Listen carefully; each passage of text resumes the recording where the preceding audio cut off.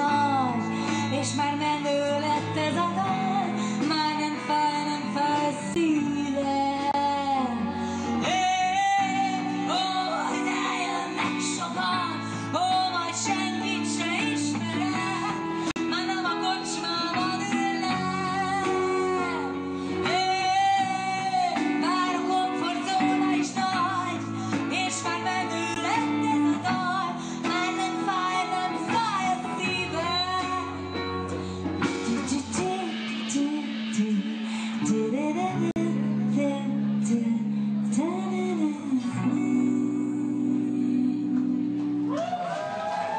Jó?